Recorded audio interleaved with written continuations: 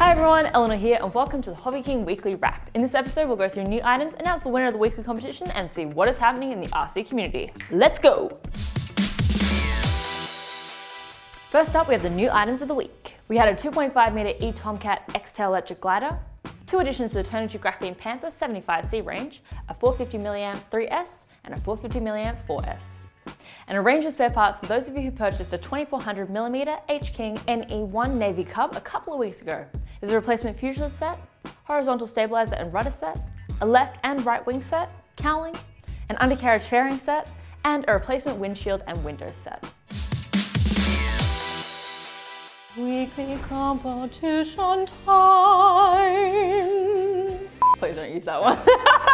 We're currently running Crash Cash where all you have to do is send us a photo or video of something RC that you have crashed. This week's highlights were Tor from Norway whose jet met a disastrous end when its ESC died.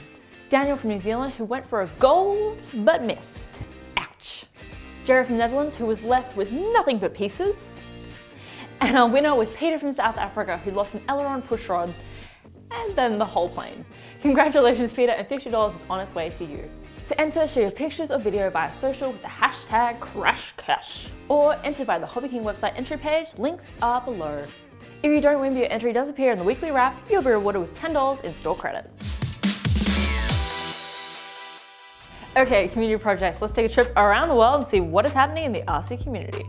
Mundro Drone from Brazil released a video featuring drone chase footage of motocross rider Gian Bergamini. Great stuff there from both rider and drone pilot. Rachel from the UK took her Hobby King Swamp Dawg down to a local river for a test run. Also out with their Swamp Dawg, though slightly modified, was Eagle Hammer 1, who gave his a Red Bull colour scheme and also mounted a microcam to capture some onboard action. He not only took it out for a run on the water, but also a patch of long grass. Looks like so much fun. Michael from the US installed a D-ring to his Avios Grand Tundra and took up a banner that said, I love Hobby King. Thanks for the love, Michael, and good luck with the glider that you plan to take up next. Speaking of gliders, Matt from the UK, who's part of the Liverpool and District Model Aircraft Society, LADMAS, has been taking gliders up with his Avios BushMule with the help of a conversion canopy designed by Steve Holland. Well done, Matt and co. Pascal from Canada 3D printed a Dodge Daytona 1 10 scale RC car body and attached it to a TC3 chassis. It looks amazing and I love how you included footage of you out on the road, losing a wheel, and also a nut. Drone Nation from the UK took a trip to the woods and set up course for some drone racing practice.